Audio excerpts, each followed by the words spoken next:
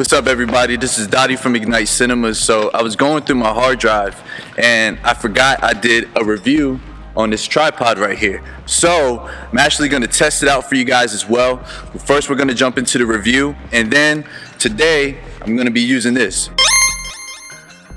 I ordered a new tripod from Adorum, Adorama, I think that's how you say it. Real good price I got. I was in the market for a new tripod, so I decided to upgrade. But I didn't want to pay like an arm and a leg either, so did some research. I went on some forums and stuff, and coincidentally, this $80 tripod had a lot of great reviews, and it looks like one of the big boss tripods. So I'm about to unbox it and actually try it out today.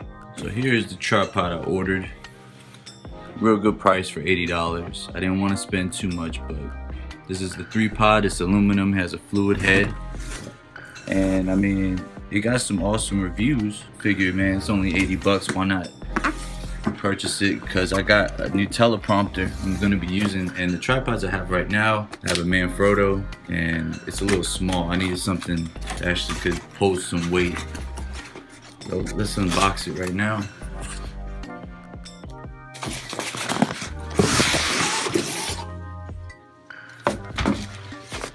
Comes in a good case, a cool little case. Look a little professional. Oh man, this ain't bad. This looks like something right here. Who reads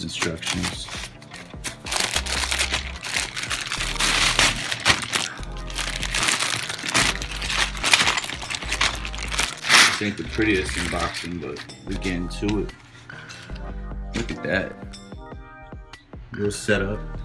It looks super baller. Um, I'm gonna try this bad boy out today. Let's get into the setup. You guys saw the unboxing. Let's get into the setup and I'll show you how I use it today. My subjects are the infamous Coach Rock, Coach Josh from I Love Basketball TV. 1.3 million subscribers on YouTube, so you know, must be doing something right. Since I'm shooting all these videos in 4K, we're using the GH5 with the Metabones speed adapter. Shouts to Coach Rock with the 18 to 35 millimeter Sigma art lens. This is my go-to setup. The side note, the only thing I don't like is that the autofocus on this isn't good at all. So I mean, on the, the new Panasonic. Yeah, and they have been some hacks on it, but it still doesn't work. Well, it does for native lenses, but for the Sigma Art, it's hit or miss. So, guess you got you want something done right, you gotta do it yourself. This tripod also does well with a teleprompter that we have, especially good for sales videos and call of actions, just speaking into the camera.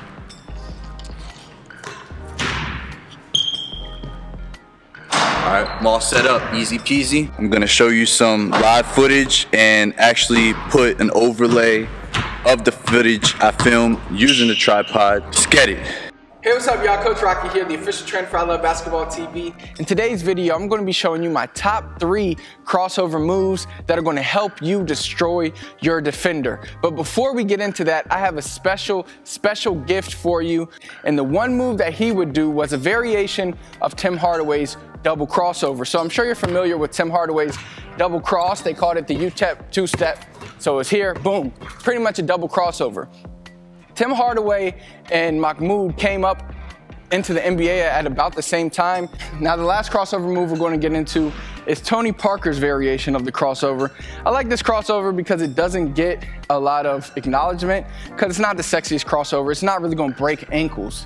So if I'm here, then I'm here, I can get a good head of steam. And I know you guys know Tony Parker's known for He's not known for his outside game as much as he's known for getting to the basket, finishing with floaters and layups. Where he comes, he might beat his first defender here, and then he spins quickly. Or even if he doesn't beat his first defender, so say Coach Josh stays with me, I hit him with the cross, he, but I can spin around him. That's enough room to get my floater or my layup. So this is a great move any filmer, I don't care what type of videos you're filming, buy this. Even if you need multiple tripods, buy two of these. That concludes the unboxing slash review slash test of this amazing tripod. If you guys want to purchase this tripod as well, I'm going to leave a link in the description. Like I said, it's 80 bucks. I don't care if you're a videographer or filmer on a budget or if you're balling like that. Like this is definitely a very elite and plush tripod. I'm very impressed. I'm probably gonna cop a few more and uh, you know just add it to my arsenal. If you guys like this video, don't forget to smash that like button for me. And if you want to see more videos like this in the future, as well as tutorials, vlogs, and inspiration videos, subscribe to the channel so you never miss a video. And as always, don't forget to go out and ignite. See ya!